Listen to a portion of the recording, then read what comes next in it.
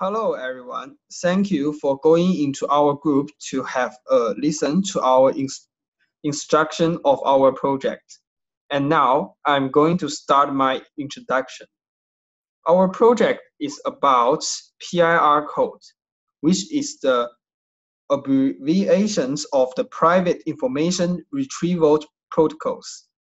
And its purpose is to protect our informations from being revealed when we are ser serving the internet and download something important and private. Now, I'm gonna tell you about how this protocol work and how it's magically to reach the purpose of protecting. Here is some variants of this project. In the PIR codes, there are K servers and the database X. Uh, and we suppose that the X is the in the binary form. Then we uniformly divide X into M parts, which is part one, part two to part M. And each of them in, concludes N divided M bytes.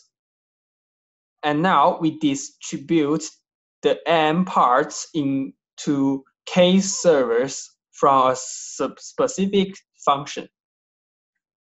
Then let's see the simplest example of the PIR codes, which is 2-3 servers case. Assume that we are going to retrieve the i bytes from the database X, and Xi belongs to the part 1. We have uniformly divide X into two parts, and then we respectively put the part 1 and part 2 and part 1 plus part 2 into three servers. Each of them has undivided two part uh, the undivided two bytes. And now uh, the users create EI and a random code, uh, a random code A, which also, uh, which also has two uh, undivided two part, uh, bytes. Finally, we use the linear formula, which was written in red uh, as follow in this part uh, to get what we want. And then the 4-8 server case is as follow. It may be a little more complex and, than the 2-3 servers one. And this in this time, we divide X into four parts, and we assigned them in A servers in a specific, uh, in a special way. The method is in this picture, and you can observe it. Uh, and then we also make the uh, an A, which is also a random, which is also a random code in this part. Uh, in this way, we also add three of them together and finally get what we want. Uh, and in the end, uh, we also use the special formula to add them together. Maybe you are a little confused about it now, but make it easy. Just remember that the server just know the random code A and the whole database, but they are actually impossible to know your code information.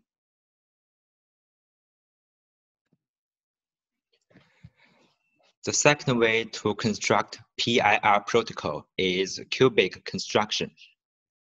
At first, we are going to define two variables, S and M. Then, divided the database X into different parts, shown in the picture. Then we will have P blah blah equals to the sum of different X we should pay attention that there is a gap from i psi minus 1 to i psi plus 1. And i psi means the change element of xi1, i2, blah blah, i psi, blah blah, blah i k minus 1. The meaning of p, blah blah, is the sum of different points in the same line in the same dimension. Maybe this is a little hard to understand, but you can see the following pictures. This may help you to understand what I'm, what I'm talking. Then let us see an easy example. In this example, k equals to 3. Then we have p. The purpose of us is retrieve the piece part in xig. We will do the same thing that talked before.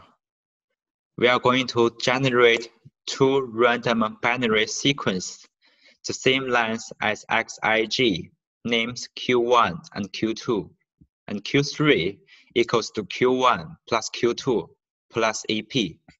And EP is a vector whose, whose piece part, piece position of EP is 1 and the other position are all zeros. Then we distributed Q1, Q2, Q3, Q, Q3 to different parts that's shown in the picture. And we will do some simple calculation and we can have the piece, piece position in xig. Then let us see a hard example.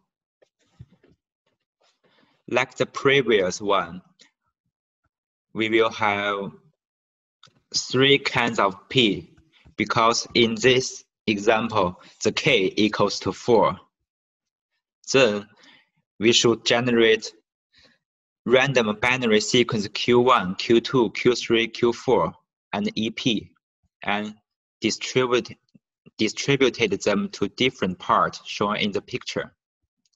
And Q4 equals to Q1 plus Q2 plus Q3 plus EP.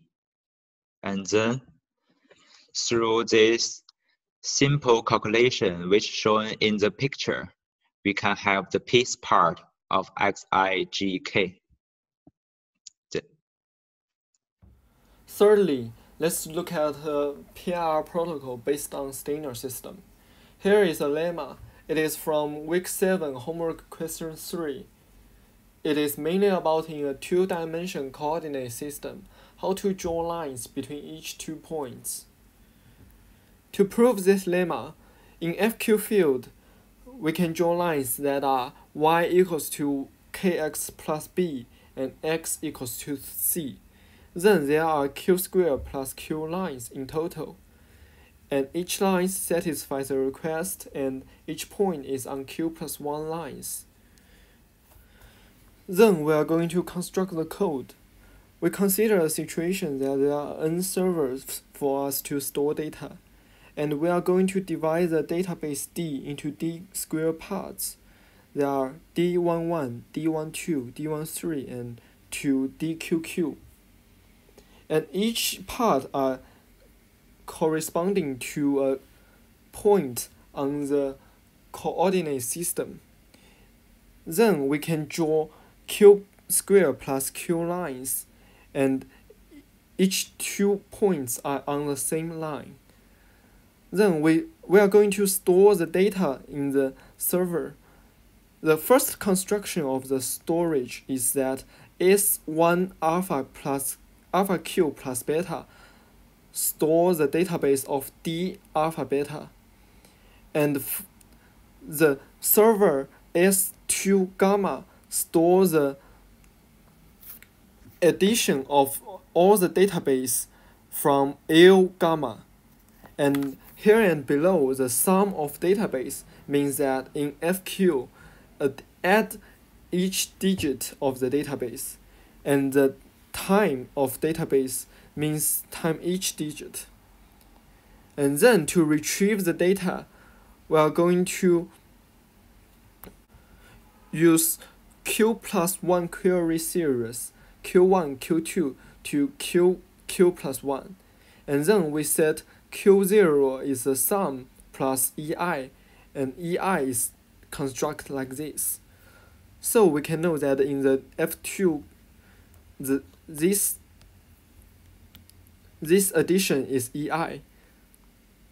Then we send Q0 to a server S alpha 1 plus alpha q plus beta, and that is a server that stores the database of d alpha beta.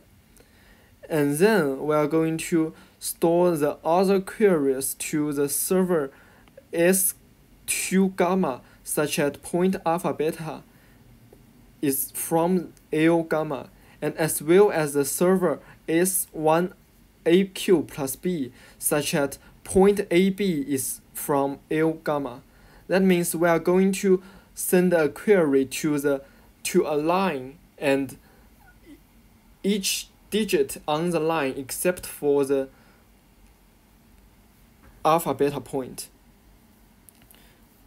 And then we can know that A x equal is equals to Q zero dot S 1 alpha q plus beta plus this sigma.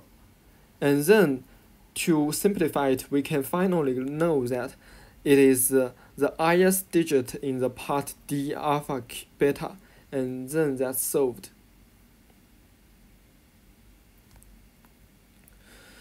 The code form of the specified cases. For example, we are going to enter a 16-bit database like this. And then we are going to divide the 16 digits into four parts. Each part have two, four digits. Then, for example, we are going to retrieve the second part and the third bit. And we, firstly, we are going to show the 2-3 protocol. That is we send the random code of four digits for example 1011 and then q1 equals to 1011 and q2 equals to 1001 which is q1 plus e. And then we're going to send the q1 to the server c1 and q2 to the server c2 q1 to the server C5. And then we can know that we, we will retrieve the number 1. And for the 4 8 situation, we are going to construct Q1 and Q2. For example, it's 1000 and Q2 is 1101. And then the Q1 is 1000, Q2 is 1101 and Q3 is 100111 that is Q1 plus Q2 plus E. And we send the query to the corresponding server. We can finally know that we can retrieve the number 1 that's all. Conclusion. During this term we have spent a lot of time on our project. There are still some interesting ways to construct PIR protocol.